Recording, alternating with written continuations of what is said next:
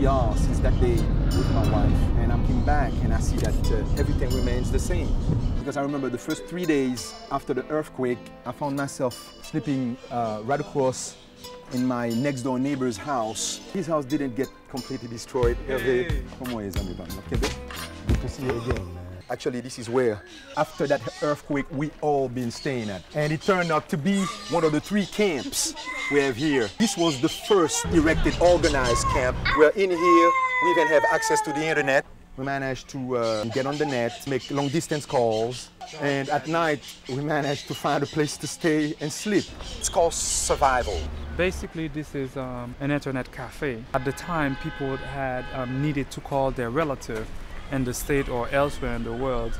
What I did is I took whatever equipment that I had left that I could save, so I basically took them and I brought them here. A generator right there in the back. So in case the, the inverter battery failed, so I could always start the car for an hour or two so it kind of recharged the battery. And from there, I get it from the power inverter. And if that's if the battery, the inverter battery didn't get enough charge, then I would put in the car, I would start the car, and I would plug everything in a single battery that keep me going.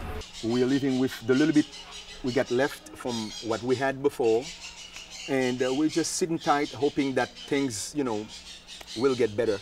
Every house sees, every single house, I mean, all the houses that used to be in this neighborhood, it's either they all fell down, and even those that seemingly, that look like, you know, nothing had happened to them, you got to see inside or the back of them, and you, you will realize that, you know, there is no survivor as far as the houses are concerned. I was standing right here when the earth started shaking. And then I look down and I look up for the truck. So there were no truck. I said, uh-oh, earthquake. And I ran in the, right in the middle of the street while the earth was still shaking and this fell down.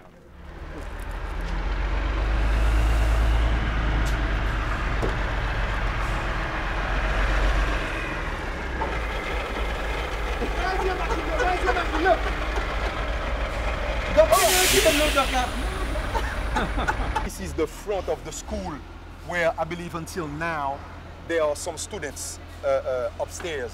There was a guy that was still alive. We pulled him right here. Apparently he was stuck right there. So we pulled him, we gave him food, not a scratch. Not a scratch, but it Not was just scratch. cut in between, you know, the rubble. Now, uh, this, this, this is a clinic. That gives you an idea. I mean, this is like the third floor of that school I was showing you guys that fell here. The lady, she actually lives in the States. And from time to time, she'd come here to Port-au-Prince, you know, to see how the house is like, to collect the rent because she had a lot of uh, people to whom she rented. I was working on, on, on the computer and she passed by and say hi to me. I just said hi. She, she, she, said, she says, you must get up and come and kiss me. Because I'm like your mom. I'm like, okay, so I got up and went and kissed her. That's the last kiss I will ever give to her. Because like five minutes later, she had just gotten back into the house and I was watching the house collapsing. Uh, until now, we have not even been able to pull her from the rubble. Her brother that came here was doing some work in trying to pull her out of there. They found the body, but the body was cut underneath of so uh, like a pile of debris that when they tried to pull her out, I believe it's just one arm of hers that came out and a leg. Whatever else, you know, that was left from her is still. It's been Haitians helping out Haitians because uh, we're the ones that went inside the house despite the bad smell, despite the risks and everything, but we felt like at least they, they deserve to be buried. Now, the, the first floor is what you cannot see. And that's where the American citizen lost his life, both him and his wife. And we, we, we dug, we made the hole right here, in American. and uh, we threw both him and his wife in there. Okay, it was a.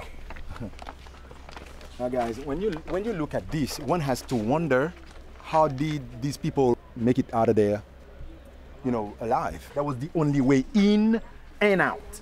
Si mwen mwen te an dan, pandan kou fè la fè, i ka gen yon tèt li kase pandan tan lè. Nan mi tan? Nan mi tan, gen yon ki tan ba, lè wè kè la panche fè dè balan, epi kouri soti dè yo. Moun ki te lè lè yo, mè mèm soti piye yo kase, gen moun piye yo kase, ki pa ka mache soube ki. Mè kay mwen. Tout de a tombe. Ou mèm ki jan fè ou soti? Li soti tout bon Dieu. Soti bon Dieu. Paske te adam te kouche apre sa. Koui. I tap filme an dan koui.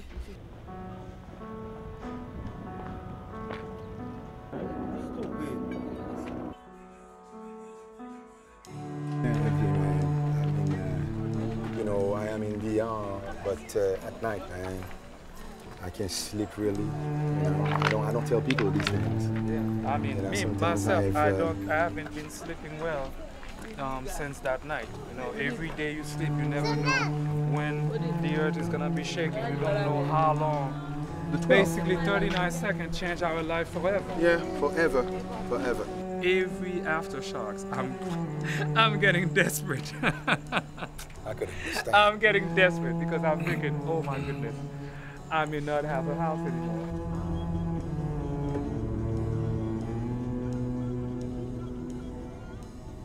I don't have a permanent job, but I'm getting by. I find little contracts here and there with my friends. Like I believe in Haiti, and I believe in the future. And I hope that indeed this will be a turning point where things will start moving in a more positive way than they have been so far.